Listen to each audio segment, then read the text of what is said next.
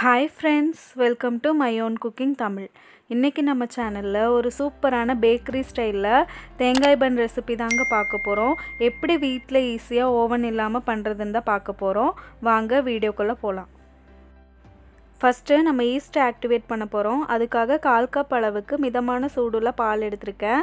பால் வந்து ரொம்ப கொதிக்கிற மாதிரி எடுத்துக்காதீங்க. லைட்டாக தொட்டு பார்த்தா சூடாக இருக்கணும். அந்த மாதிரி எடுத்துக்கோங்க.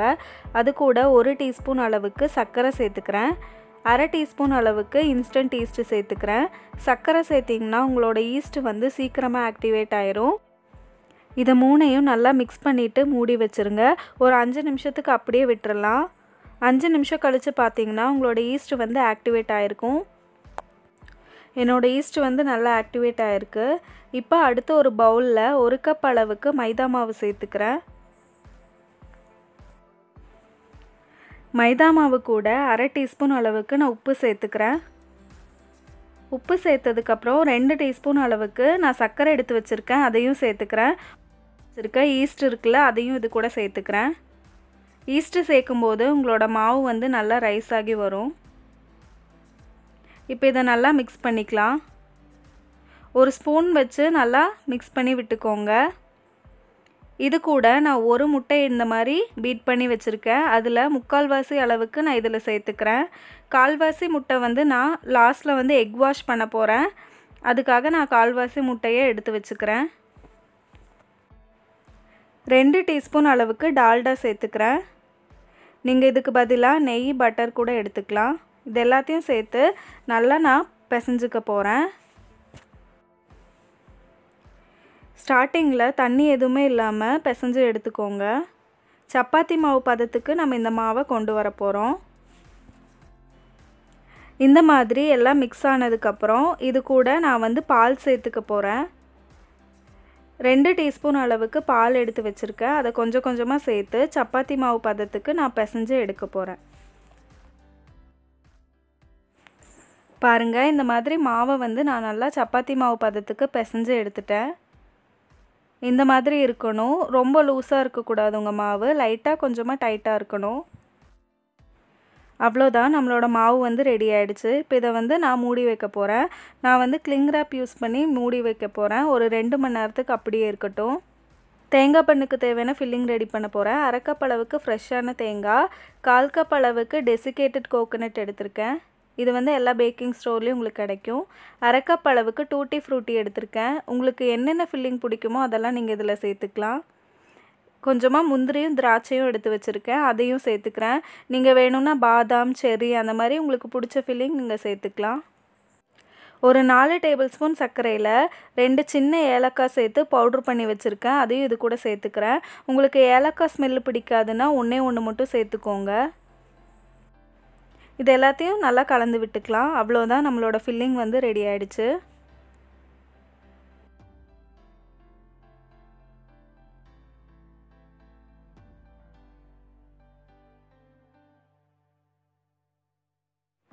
இந்த மாவை ரெண்டு மணி நேரம் ரெஸ்ட்டு விட்டதுக்கப்புறம் பாருங்கள் நல்லா பொங்கி வந்திருக்கு. இப்போ இந்த கிளிங் ரேப்பை வந்து நான் ரிமூவ் பண்ணிக்க போகிறேன் ரிமூவ் பண்ணிவிட்டு இதுக்குள்ளே ஏர் பபிள்ஸ் இருக்கும் அதை வந்து ரிலீஸ் பண்ணிக்க போகிறேன் ரிலீஸ் பண்ணி விட்டுட்டு நல்லா பிசைஞ்சு எடுத்துக்க போகிறோம் இந்த டோ வந்து நல்லா சாஃப்டாக வரணும். ஒரு ரெண்டு நிமிஷத்துக்கு நான் பிசைஞ்சு எடுத்துக்க போகிறேன்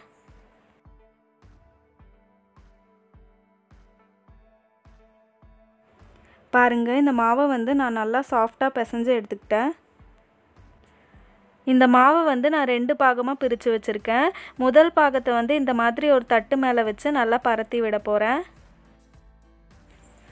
கையிலையும் கொஞ்சமாக எண்ணெய் தடவிட்டு நல்லா பரத்தி விட்டுக்கோங்க. இப்போது இதில் வந்து நம்ம எடுத்து வச்சுருந்த ஃபில்லிங்கை சேர்த்துக்கலாம்.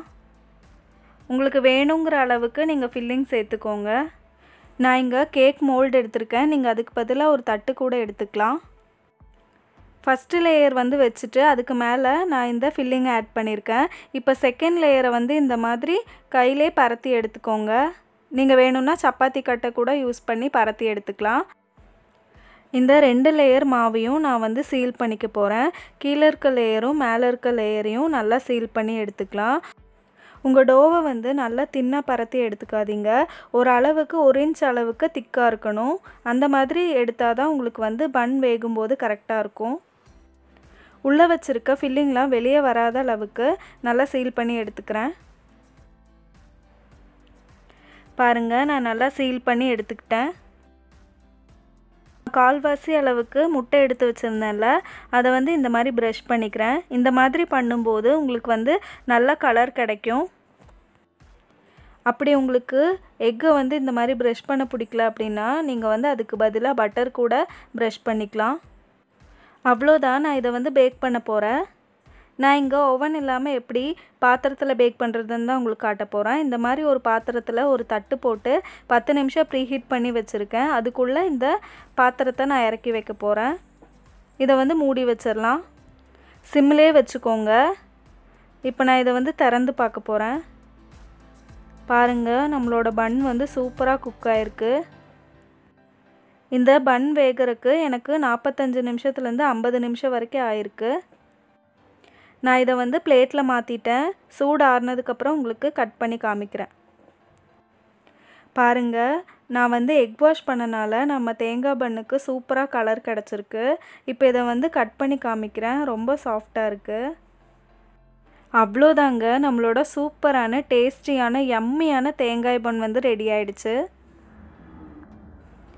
நம்ம சேனலை இப்போ தான் ஃபஸ்ட் டைம் பார்க்குறீங்களா அப்போ மறக்காமல் சப்ஸ்கிரைப் பண்ணிக்கோங்க. அப்படியே பக்கத்தில் இருக்க பெல் ஐக்கானை ப்ரெஸ் பண்ணிக்கோங்க.